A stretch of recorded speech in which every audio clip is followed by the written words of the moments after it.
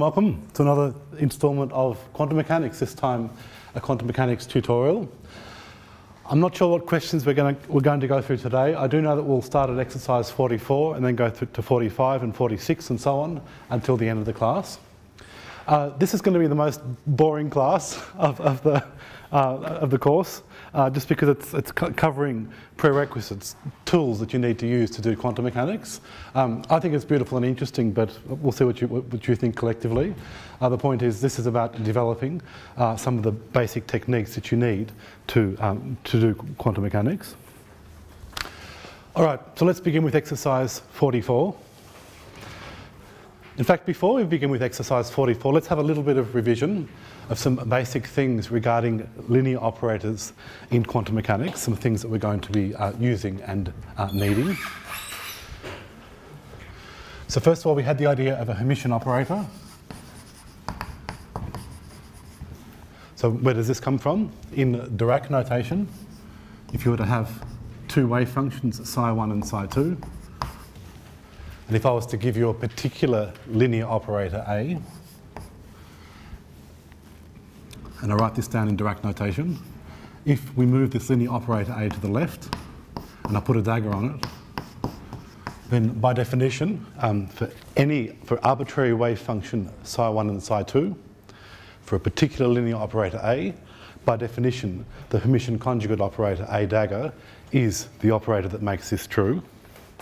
Now, if um, an operator equals its Hermitian conjugate, then we speak of it as being a Hermitian. The Dirac notation, I'll remind you, if you have the Dirac notation of, let's say, a horizontal squiggle with a vertical squiggle, uh, this is equivalent to integrating over all space. The first slot, whatever's in there, you star it.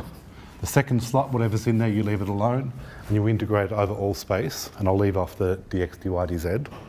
So this is what we mean by uh, the essence of, of Dirac notation. Uh, we'll use this repeatedly. The last thing that I want to mention is a unitary operator. So if uh, an operator, um, if its dagger equals its inverse, then we'd speak of that operator as being unitary.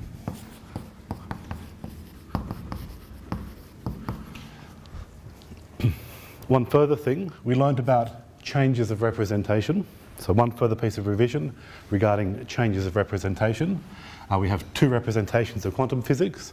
In one representation, we would have wave functions psi and operators such as A and B, linear operators. In a different representation, we would call our wave functions, um, let's say, psi hat, and our operators would also change, A hat, B hat, etc. The question is, how do you change representation? We learned how to use unitary operators to change representation. We saw, for example, that um, the new representation of the wave function is obtained by taking the old representation of the wave function and acting on it with a unitary operator. We also learned uh, how operators uh, transform. And I'll just remind you that the operators such as uh, A hat, B hat, etc., um, transform in the following way. So these are the pieces of revision regarding linear operators in the context of quantum mechanics that we need uh, for the class today. And our understanding of these will be deepened through these exercises. So let's begin with exercise 44. So here we need to, make, to prove two things. Uh, you're given two linear operators, A and B. Uh, you're also going to be given a complex number C. So two arbitrary linear operators, uh, A and B, together with a complex number C. And we need to prove two things. The first of which is that if you take uh, the complex number C, multiply by this operator, this linear operator, and then you Hermitian conjugate the product, then you'll end up with a complex conjugate of C times a Hermitian conjugate of A. So this is the first of two things that we want to prove as part of this exercise.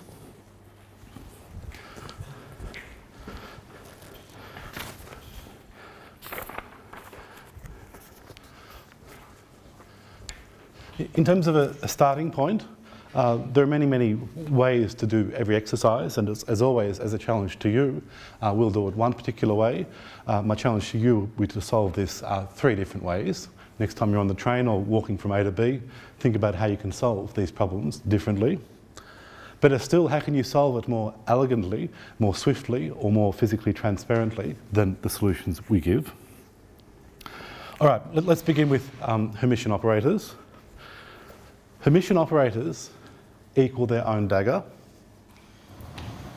But if we're talking about arbitrary linear operators, a picture we can have here, which um, this is the frog analogy, and I didn't practice this, I probably should have. This is the frog analogy. We can think of this operator uh, when it hops from the right-hand side to the left-hand side of the Dirac bracket. It picks up a dagger. Yep. So the frog hops. If it's on the right-hand side, uh, it'll pick up a dagger in going uh, from right to left. That also happens if you, if you hop from left to right. If this had a dagger, then you'd have a double dagger here, but double dagger is no dagger. Uh, you might want to prove this to yourself. Double dagger uh, is no dagger. So just think of the frogs, and we're going to be making use of this um, operator hopping technique um, a couple of times. So let's begin with our definition of a Hermitian operator, precisely what I've written there. Yep. Oh, sorry, our definition of, of a um, Hermitian conjugate operator.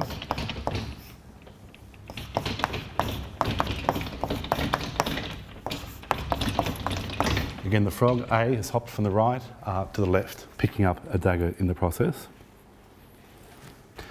Now what I'm going to do is to multiply both sides by C star. Now I've just pulled that out of the air, right? Let's multiply both sides by C star. Um, what possible, and this is the context here is trial and error, what possible logic could make me want to pre-multiply both sides by C star. Why am I doing this? How does it help me solve the problem?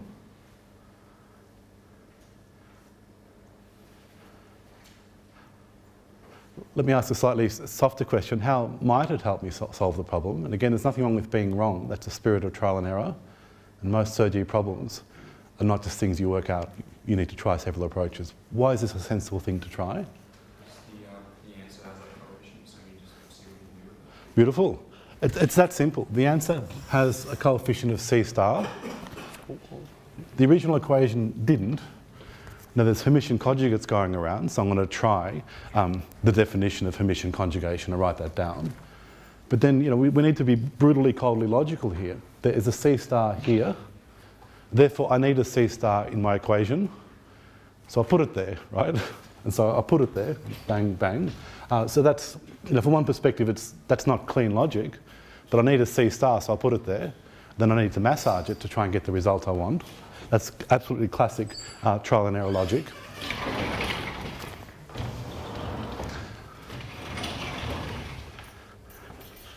In that vein of what do I do next or what could I try next, because I, I, don't know what to do next, uh, what could I try next?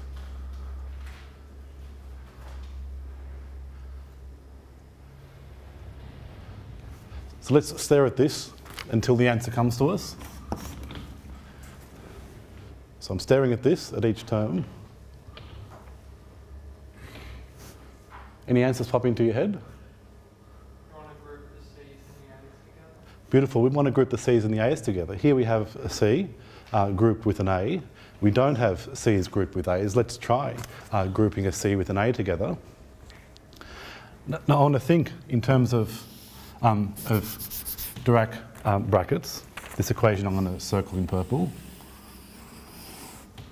Okay, that's topologically equivalent to a circle.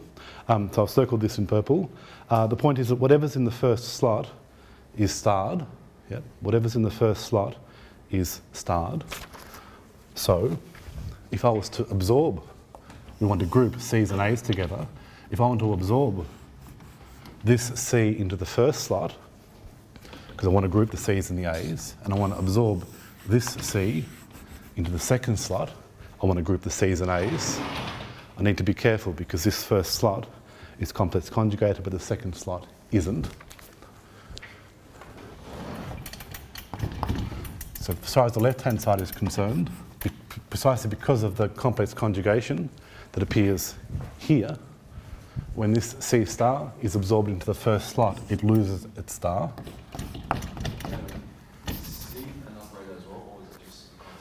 Um, no, the question is, is C um, an operator as well? Uh, no, it's not. It's a complex constant. So here, C is, is, is a complex constant. A and B are operators, but C is a complex constant. So we've absorbed this complex constant into here um, and lose the star in the process. This C star being absorbed into the right-hand slot, we want to group C's and A's together. Uh, the right-hand slot, it doesn't lose its star.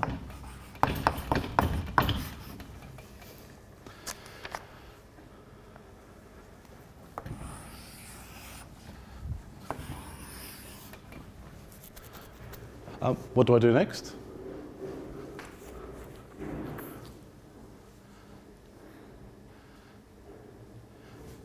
So I'm staring at, the, at, at what I want to prove, that the Hermitian conjugate of CA is the same thing as uh, C star, A star. I note that what's in these two bubbles must be Hermitian conjugates of each other. Yep.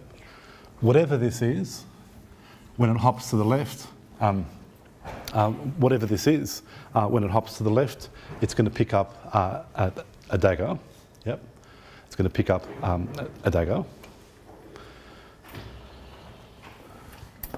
Any thoughts on how to proceed? So I'm staring at this, uh, and I'm staring at this, and I'm making the point that whatever's in this bubble, this could be the operator A, in which case this is A dagger by definition. This could be the operator A, B, C, D dagger, C triple dagger, F squared. You'll just write all those things out again and put them there and then put a dagger around the whole lot. Yep. So this um, object here and this object here are related by Herm uh, Hermitian conjugation. Yep.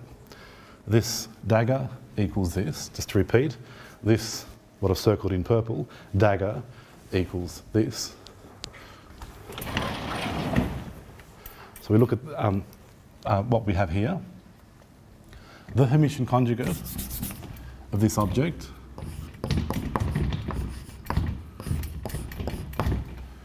is this. Yep. Just to repeat, the Hermitian conjugate of this, the Hermitian conjugate of that, equals what's in this left slot. And that's almost what I wanted to prove. If the C became a C star and the C star became a C, then I would have proven what I wanted to prove. How can I just stare at this? You know, what I want is this result.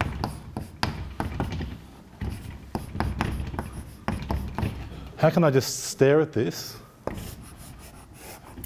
and with one, one sentence of plain English justification turn this into this? Take the Hermitian conjugate of both sides. Uh, take the Hermitian conjugate of both sides. Uh, this is an excellent answer. Um, so, so let's do it. Let's take the Hermitian conjugate of both sides.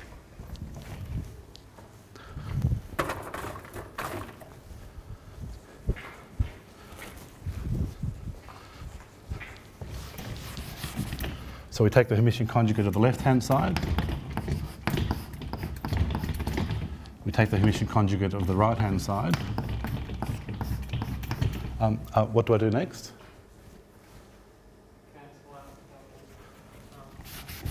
So, we cancel out uh, the double daggers.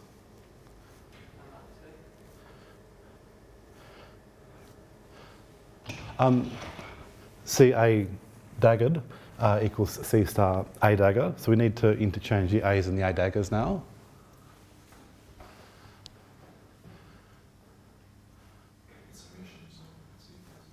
Um, so the statement is that A is Hermitian. We're not assuming that A is Hermitian.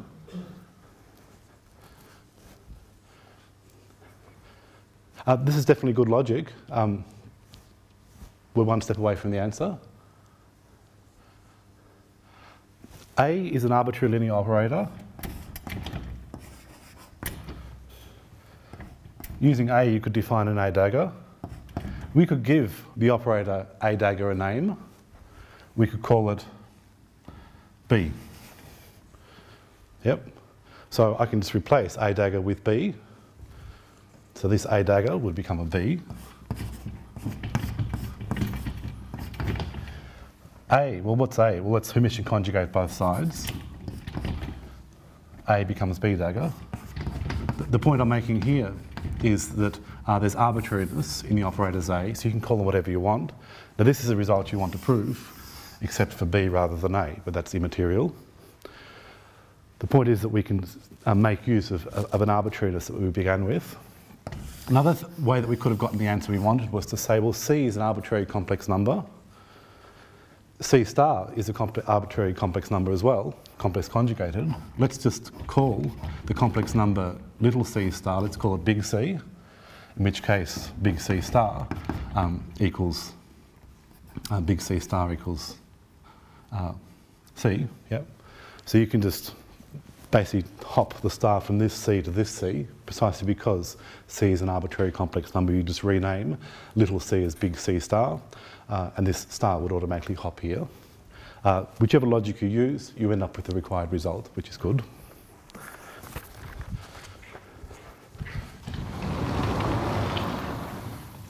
I also want to emphasize, actually I shouldn't have said this is boring, this is fun linear algebra, um, but that comment makes the point that nothing that we're doing today is peculiar to quantum mechanics. Uh, these are all results of, um, of, of the underlying uh, mathematics, which is, has infinitely broader applicability uh, than uh, just quantum physics. And again, from a pure mathematics perspective, you don't even need to apply this mathematics if you, if you choose not to uh, and it's still beautiful. All right, we want the second part of this exercise, which is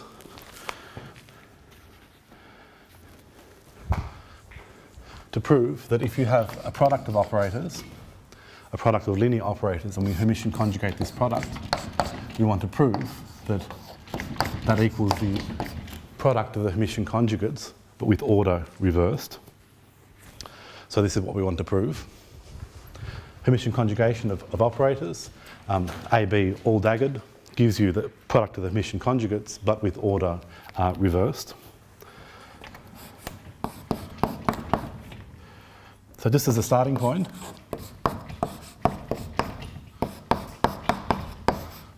let's consider um, this object here. Let's consider this object here.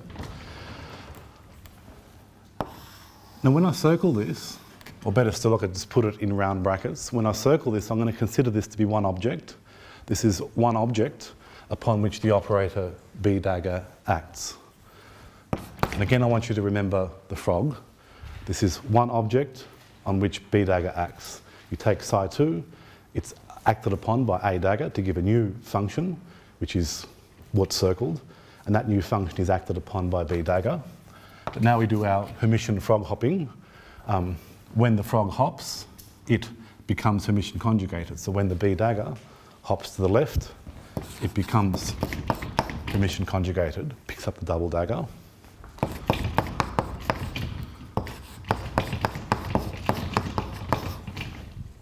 So this is good.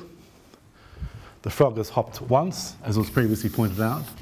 Double dagger is uh, no dagger at all. What would be a good next step? Do it again. Excellent. I like it. Um, let's do it again. This is an object upon which the operator A dagger acts. Um, this is an object in the left-hand slot. It's what you get when B acts upon psi 1. So A hops to the left, picking up a double dagger, which is no dagger at all, and this acts on the object B psi 1. Now I can drop the circling because uh, it's understood that operators act from right to left without needing brackets or circles. Psi 1 is acted upon by B, it slams into it to give a new function or object, B psi 1, upon which A acts. Yep. The A is hopped away, we have this. So let me do some more circling with some white chalk.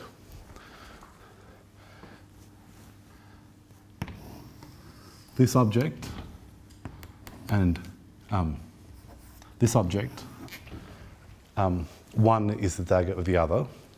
Yep. One is the dagger of the other. Uh, remember the frog. Yep. One is the dagger of the other. One is the dagger of the other. This makes us happy because that's what we wanted to prove. Again, the idea is uh, take a product of operators, Hermitian conjugated. Uh, then you'll end up with a product of the Hermitian conjugates with order uh, reversed. As always, I challenge you to work this out more swiftly, more elegantly, more compactly, more mathematically transparently, and more physically transparently.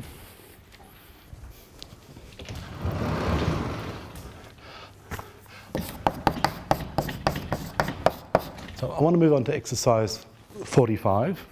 And this is regarding the concept of completeness, the mathematical concept of completeness.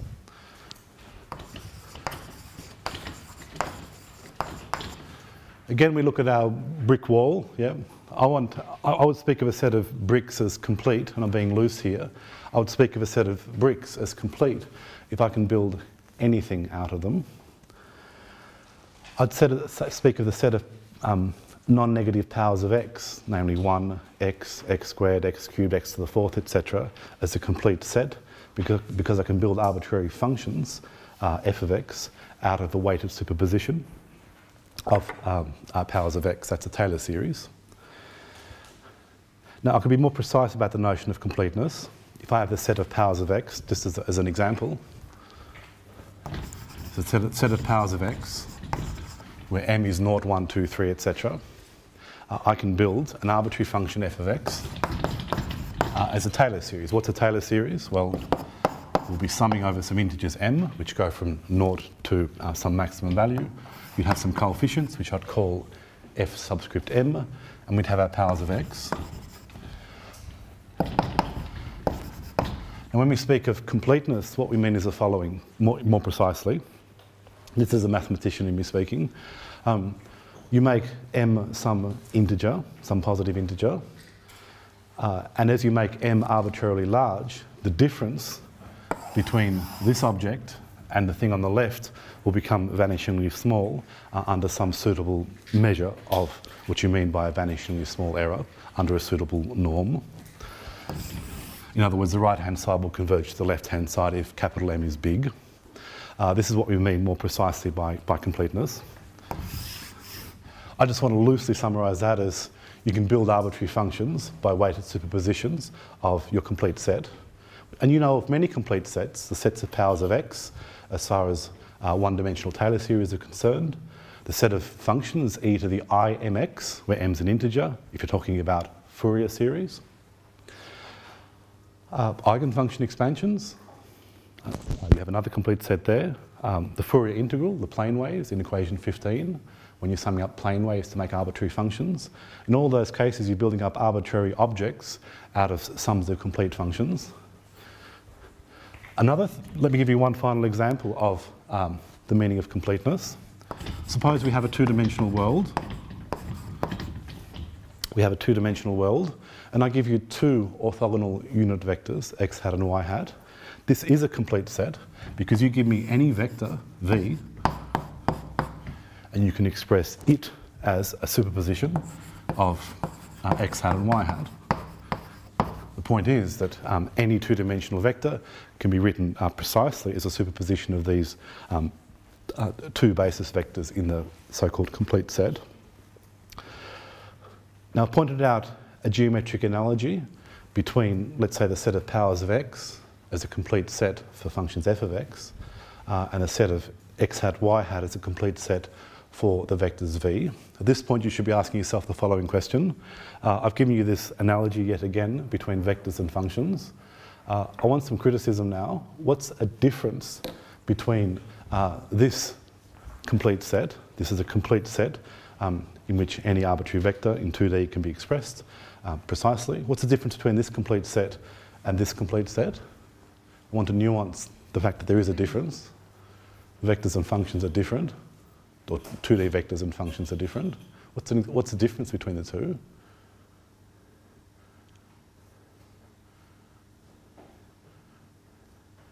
Okay, a vector is not a function. um, there's one difference. Uh, what's the second difference?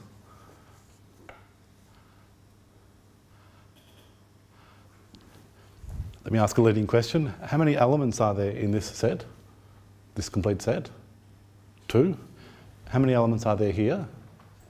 Uh, infinite. Yep. So here we've got infinite dimensional spaces. Here we have finite dimensional spaces. And there's quite a lot of, um, this is why I needed this subtlety. Uh, these sums converge to the function as m tends to infinity. I don't need to pull any of those tricks uh, here. Uh, the fact that we have, so this is one thing. A second point is, uh, here we need the notion of an error. This thing is converging to this as m tends to infinity, again with some suitable norm. But I want, the reason I'm doing this is one, to have you think about Fourier series, Taylor series, um, whatever other series you work with, uh, vectors, functions, eigenfunction expansions, Fourier transforms, can all be viewed from um, one unified perspective. There's details of differences of detail, of course, but uh, I just wanted to stitch the commonality here. How do we know, and this is, by the way, the preface to the question. I haven't forgotten the question, um, even though I haven't written it down yet. Uh, just by way of preface to the question, I ask you, how do you know that a set is complete? And the answer is that you, um, what are we doing here on this right-hand side? What we're doing is we're taking an arbitrary vector, v. We have our x and our y coordinate system along which the unit vectors point. We project onto the x-axis, and this gives us a number, which is vx, precisely this coefficient here. Then we project onto the y-axis. Yep. But let me write it there. We project onto the y-axis, and that has a length vy, which is this coefficient here. Now this is superficial and profound, right? This equals this plus this. Let me just repeat. This equals this plus this. And it, whichever vector you had, because your set is complete, you always end up with the vector that you started out with. When you um, project it onto each of the basis vectors of your complete set, you end up with the uh, vector back again. That idea generalizes to infinite dimensional spaces. When we're talking about eigenfunction expansions, object, wave function, object function, um, sum, coefficients fm, coefficients cm, probability amplitudes, complete set x to the m, complete set of eigenfunctions. When we do the eigenfunction expansion, uh, we're doing something precisely analogous to this from a geometric perspective. But we ask the question, how do I know that the set is complete?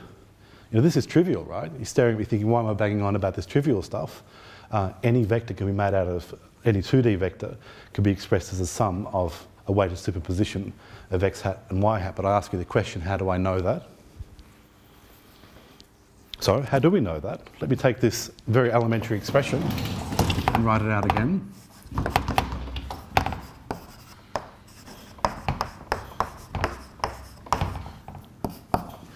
Now, as I was emphasizing, this is the projection of the vector v onto the um, x hat unit vector. Similarly for vy. Order doesn't matter here. All right. Let me pull the V out the, the back. Order doesn't matter here, these are just numbers and vectors. Here we have an x hat. Here we have x hat dot. Yep. That's an operator which acts on V, x dot, hat dot with V. Similarly, for this, y hat y hat dot. And this is v, right? That's v. And this is v. Therefore, this is 1. Yep. v equals v. This is 1. That's just a mathematization of the fact that this equals this plus this. If you project onto your first element of your basis, and you multiply through by your basis vector, you project onto the second, multiply by your basis vector, etc. Uh, do all that, and you'll end up with the same vector back again. Yep. So looked at that from this perspective, we can now um, begin to understand what the question means. Uh, question, exercise 45. If I can find it. Context here is not expressing uh, vectors as sums of x hats and y hats. The context here rather is the eigenfunction expansion. And it's asking the question, how do you know that your set of eigenfunctions, psi n, is complete? And the answer is, because this equals 1, right? But we need to be more precise. The answer is the so-called closure relation. This is also called the completeness relation because it demonstrates the completeness of a set of functions in this, in this sense. In this case, a set of eigenfunctions. So take one of your eigenfunctions, psi n, which will be a function of position.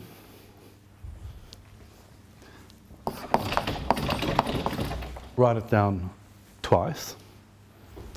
Star the first one and put a prime coordinate here. Now at this point, I'm getting lost. I don't know what the hell's going on physically, that's fine. We're going to prove this and understand it. Sum over all the n's. So it's quite a peculiar object. You pick two points in space, you form this product, uh, you add them all up, and you get zero or infinity, depending on whether or not r equals r prime. When you look up a mathematics book or a quantum mechanics book, they'll just blandly state that this is a statement of, of, completeness. If your set of eigenfunctions gives you this, then you have a complete set, and if it doesn't, then you don't. Now the one uh, has become a Dirac delta, but we want to understand, we want to do two things. First of all, we want to prove this, and secondly, we want to understand why um, the, the, fact that a set of eigenfunctions obeys this implies that the set, said set of eigenfunctions is complete. So let's, let's begin by proving it, which is what the question actually asks. And the proof is actually disappointingly swift. And when I say disappointingly swift, you just work it out in a few lines. Then you stare at it and you think, well, I've proved it, but what the hell does it mean? Uh, so we're going to prove it quickly, and then we're going to ask the question, the deeper question, uh, what does it mean? So I'm going to begin with the eigenfunction expansion. So summing over integers n. We're going to have some eigenfunctions, psi n, and then coefficients, cm. And those coefficients, cm, in analogy with the vectors, is just the projection of the vector slash function onto the element of the basis. This is just a, um, for functions, what, what dot product is to vectors. So this is our eigenfunction expansion, where these are the coefficients Cm. We then ask the question, what could I do next? Notice the wording, what could I do next? There's very little I could do next. What could I do next? I'll give you a hint. I can only think of one thing to do next.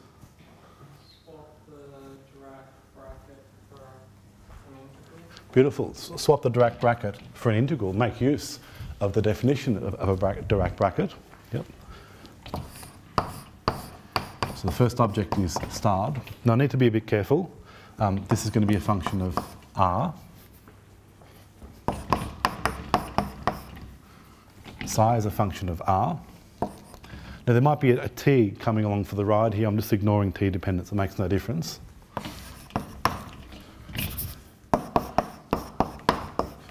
So I've written out the Dirac bracket uh, explicitly. What have I done wrong? It's almost right, but not quite. I stuffed up something. What is it?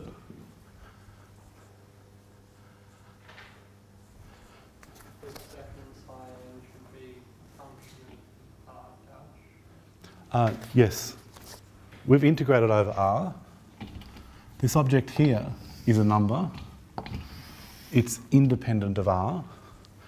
R is a, very, a dummy variable of integration, but once we do this integral, once you do this integral, there is no R left. It's being integrated over, it's gone, it doesn't exist. This R is a fed income R, this is a real R, this does exist. I need to distinguish between the two R's. The dummy variable R, I'm going to call R prime, which is integrated over, it's gone. And I don't want to confuse it with the free variable R. So here, R prime is a dummy variable. And r is uh, a free variable. Again, in the spirit of there's very, very little that I can do, one of the very, very few things that I can do now is to interchange the order of summation and integration. Or stated slightly differently, I want to interchange the order of discrete sum and continuous sum. You know, this is S for sigma, S for sum, S for discrete sum. This is S for sum, except a continuous sum, which is what an integral is. So let's interchange the order of integration and summation.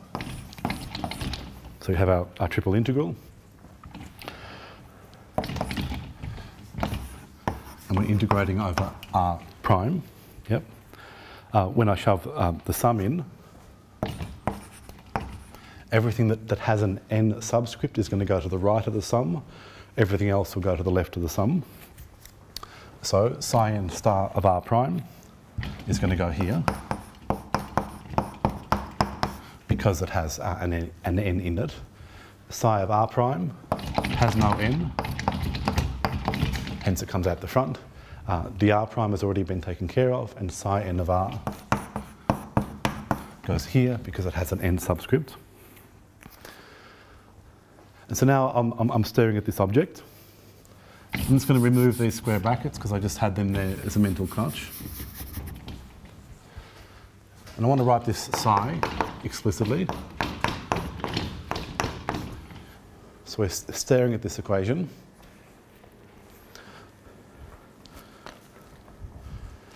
So here, psi of r is a particular but otherwise arbitrary function.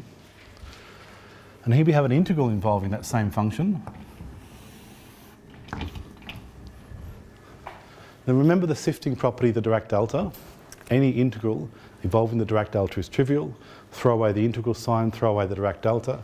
Uh, what's left, you then just replace um, the arguments with the value that makes the argument of the Dirac delta vanish.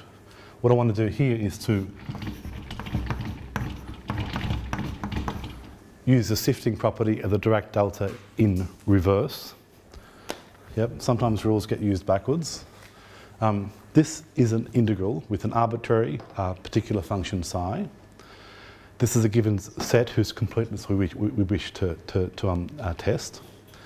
This integral must always be this thing.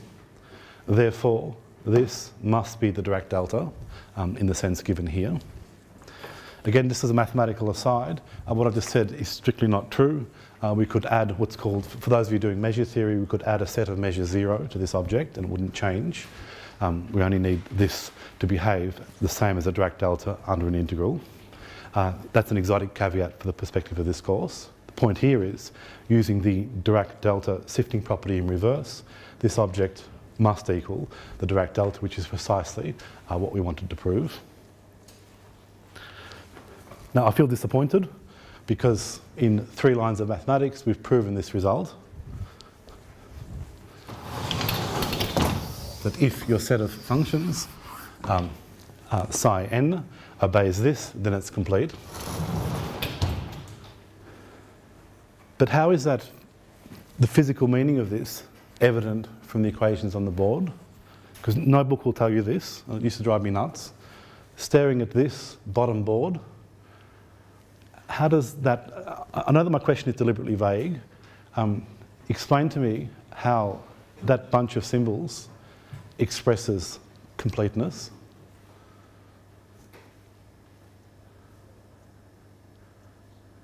I'm looking for a simple answer that no book will give you.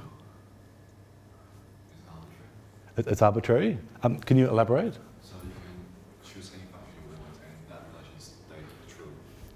So it's arbitrary. You can choose uh, any function you want, and this relation will be true. Any function you want, as in this being any function you want. This is good. This is all good. Would someone like to add to that?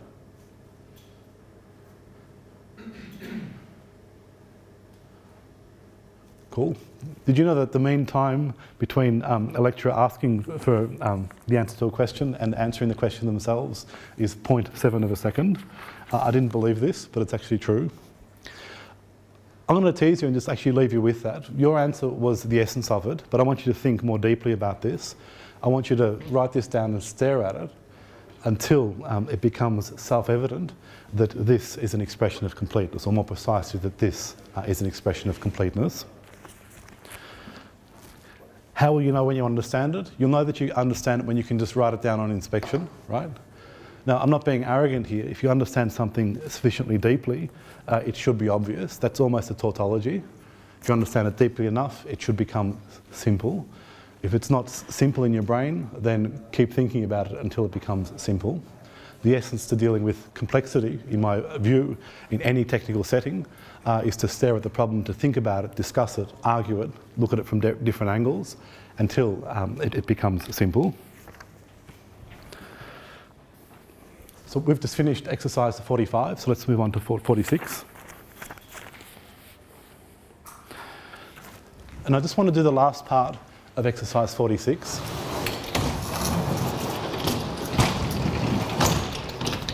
And this was a result.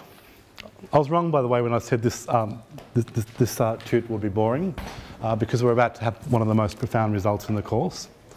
So exercise 46, uh, D. The question here is, you have two representations of quantum physics related as before via a unitary transformation. In the first representation, you would have, or you could have, linear operators A and B. In the new representation, you would call them A hat uh, and B hat. And this is two uh, of infinitely many different ways of doing quantum physics. Yep. You might have another unitary transformation, I don't know, u tilde, which gives you yet another representation. Uh, you could have infinitely many possible representations. Yep. And they're all related by unitary operators. There's infinitely many of these things. So infinitely many ways of doing quantum physics, fantastic. You then have one particular way of doing quantum physics, and as you do, you calculate a, a commutator. You have the commutator of the linear operator A and B, uh, giving some complex number C some complex constant C.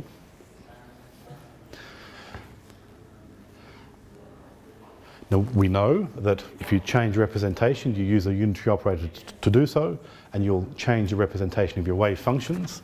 Your wave functions psi will become psi hat. Your operators A, B, etc. will become A hat, B hat, etc.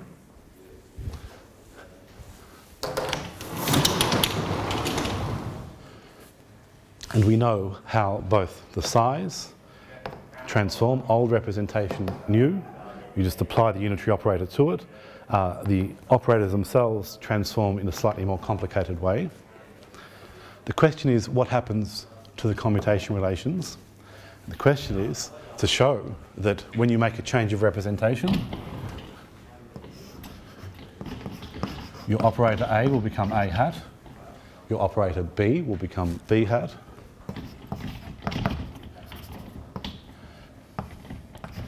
and your complex number C will be unchanged.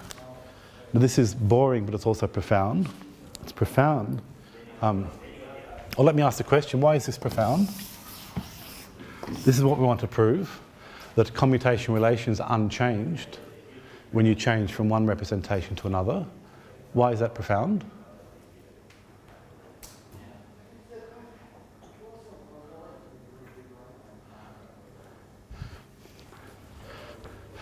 we do physics, right? We study the physical world.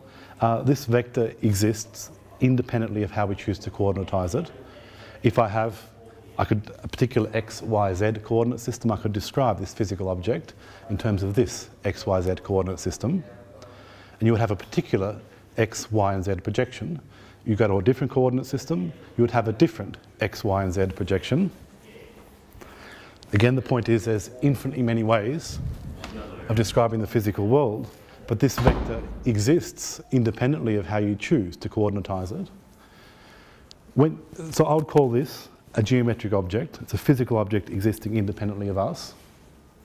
This is telling us something very profound because it says that in any one of the infinitely many different ways of doing quantum physics, in fact in any pair, right, this is one way of doing quantum, this is another, related by a, a certain unitary transformation, the commutation relations are the same in every representation. Hence, the commutation relations tell you something, and I'm using the word geometric here loosely. Um, uh, the commutation relations are telling you something which is, in, or which is independent of representation uh, in, in a similar way to the physical world existing independently of how we choose to coordinatise it. So there's something deeply geometric or um, representation free about commutators, and this is why, for example, many books on very advanced quantum mechanics and supersymmetry begin with uh, commutation relations because they're independent of representation. With all that um, preamble, the proof is going to be um, almost disappointingly swift. So let's do it. Um, I want to calculate this commutator on the right hand side. It'll be the first operator times the second minus the second times the first. And, and this equals C. So you could show that this implies this, or conversely. Um, I'm going to go backwards just for the hell of it. Uh, A hat is UA dagger. B hat is UA, UB U dagger. Similarly for the B hat uh, and the A hat. And that'll equal C. Um, what do I do next?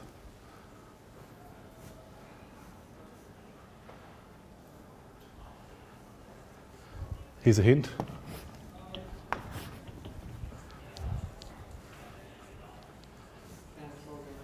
I cancel them out, that um, unitary operators equal their own inverse. So U dagger U is the unit operator.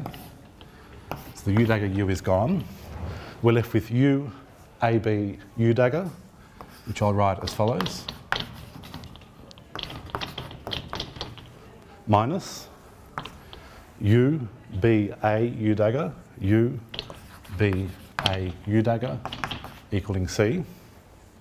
Now what's in the middle is a commutator, which is AB um, minus BA, the commutator of uh, A with B. So we have U, commutator of A with B, uh, U dagger, equaling C. Now I'm running out of time. Uh, to finish this, I would pre-multiply by U dagger, post-multiply by U, uh, and the results will pop out. I'll leave that final piece of the logic to you. So let me repeat. You'd pre-multiply by U dagger, post-multiply by U, um, and the result to be derived would pop out. Uh, I'll stop there. Thank you.